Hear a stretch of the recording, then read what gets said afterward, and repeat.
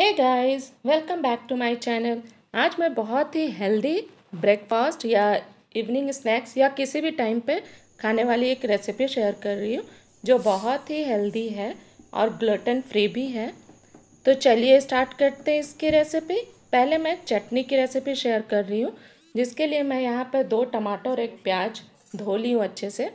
और इसको मैं एक कांटे वाले चम्मच में लगा कर इसको मैं अच्छे से पका लूँगी।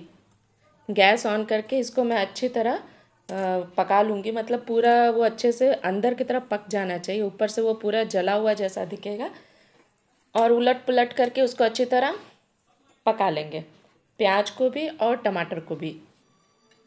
ये अच्छे से रोस्ट हो गया है। मैं इसको ठंडा होने के बाद सारे को अच्छी तरह छील लूँगी। ये बहुत आसानी से निकल जाएगा इसके सारे जो स्किन है, वो अच्छे से बाहर आ जाएँगे। प्याज को थोड़ा ज़्यादा टाइम तक पकाइएगा, क्योंकि टमाटर सॉफ्ट है, इसलिए वो पक जाएगा जल्दी। टमाटर को थोड़ा, प्याज को सॉरी प्याज को थोड़ा ज़्यादा देर तक रोस्ट कीजिए। अब एक मिक्सर जार में रोस्टेड चिली लहसुन और प्याज, टमाटर डालकर अच्छी, और नमक डालकर अच्छी तरह पेस्ट बना लेंगे। एक स्मूथ चटनी रेडी कर लेंगे। ये रेडी हो गई और मैं एक दूसरे बर्तन में इसको ट्रांसफ़र कर लेती हूँ। अब चटनी को छौंक लगाने के लिए तेल गरम कर लूँगी। उसमें मैं काला सरसों का दाना सूखी लाल मिर्च और करी पत्ता डालकर चटनी को ऊपर डालकर कुछ सेकंड के लिए ढक कर चटनी तो रेडी हो गई। अब चटनी के साथ मैं हेल्दी नाश्ते की रेसिपी भी बताती हूँ। तो एक कद्दू को मैं छिल कर अच्छे से घस लूँगी। और कलेक्ट कर लूँगी। फिर जिंजर भी वैसे ही घस लूँगी थोड़े से। जिंजर चाहिए। यहाँ पे मैं गाजर भी ले रही हूँ। आप अपने मनपसंद की कोई भी सब्ज़ी यहाँ पे ले सकते हैं। तो पालक, यहाँ पे पालक और प्याज स्पेशली मैं पालक ले रही हूँ। यहाँ पर अब एक बर्तन में लौकी, अदरक, गाजर, प्याज और पालक, सभी सब्जियों को मैं एक बाउल में ले ले रही हूँ। मिर्ची, नमक। नमक अपने टेस्ट के अनुसार डालेंगे टर्मरिक पाउडर और सबको हाथ से अच्छी तरह मिक्स करेंगे। वो क्या थोड़ा सा पानी जैसा हो जाएगा, इसलिए उसको थोड़ा अच्छे से मसल मसल कर मिक्स कर लेंगे। तो पालक भी है, वो भी सॉफ्ट हो जाएगा। अब यहाँ पर मैं ज्वार का आटा ले रही हूँ। एक चम्मच जीरा, और फिर अच्छी तरह इसको मिक्स कर लेंगे।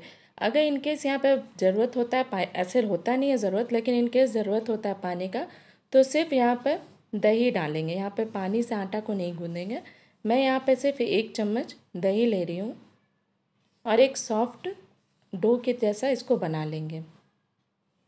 डिपेंड्स पालक और कद्दू लौकी पर होती है इसलिए अगर पानी का ज़रूरत है तो सिर्फ़ दही डालेंगे नहीं तो वो सफिशेंट है पालक एंड कद्दू।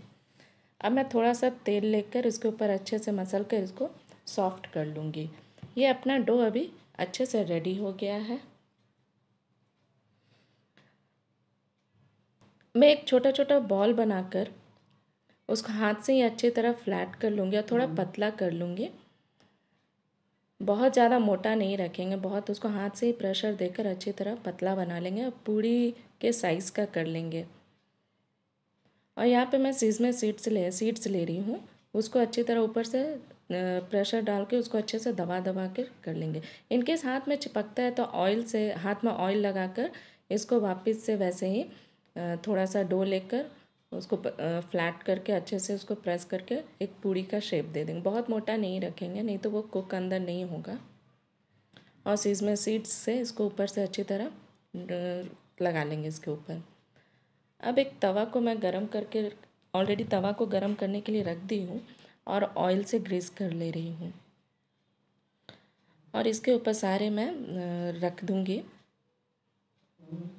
और आधा चम्मच तेल डालकर वापस से इसको मैं मीडियम फ्लेम पर लो मीडियम फ्लेम पर इसको कुक कर लेंगे।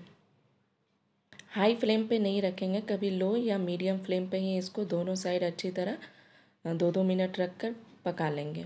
वो कलर चेंज हो जाएगा अच्छी तरह, वो ब्राउनिश टाइप का आ जाएगा, तब तक वो और वो ये काफ़ी सॉफ्ट होता है क्योंकि हम लोग इसमें लौकी डाल रहे हैं तो वो सॉफ्ट हो जाता है। ये देखिए अभी, ये अच्छी तरह रेडी हो गया है और कलर भी आ गया। मैं इसको प्लेट में ले लेती हूँ और ऐसे ही मैं बचे हुए आटा से भी सारे बनाकर रेडी कर लेती हूँ। ये देखिए बहुत अच्छा कलर और बहुत ही टेस्टी होता है। और हेल्दी तो है ही। चटनी के साथ ज़रूर ट्राई कीजिएगा। ये वेट लॉस करने की भी बहुत अच्छी रेसिपी है।